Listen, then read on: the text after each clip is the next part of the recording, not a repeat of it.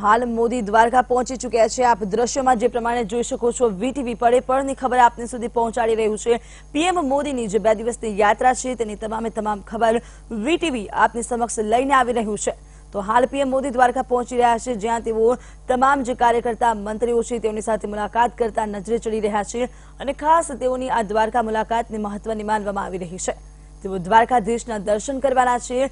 દર્શન કર્યા બાદ તેઓ વિધિવત રીતે શરૂઆત કરવાના છે. પોતાની યાત્રાની ત્યારે ખાસ પૂજા અને વ્યવસ્થા અર્ચના કરવા માટેની ત્યાં વ્યવસ્થા કરવામાં આવી છે. પૂજા અર્ચના કરવામાં આવશે. મંત્રોચ્ચાર સાથે ભગવાનની પૂજા કરવામાં આવશે. તે માટેની પૂર્વ તૈયારીઓ કરી દેવામાં આવી છે. હવે જ્યારે પીએમ મોદી ત્યાં પહોંચી ચૂક્યા છે, તો આ પૂજાનો પ્રારંભ કરાવવામાં આવશે.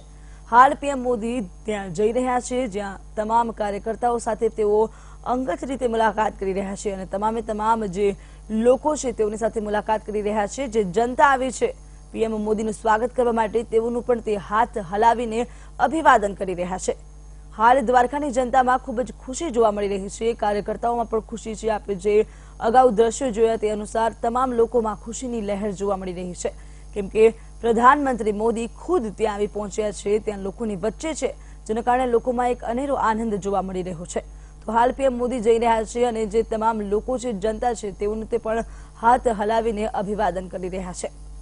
પીએમ મોદીના સ્વાગતની પૂરેપૂરી તૈયારીઓ કરવામાં આવી હતી. જે પ્રમાણે આપ દ્રશ્યોમાં જોઈ શકો છો કે પીએમ મોદી હાલ જઈ રહ્યા છે.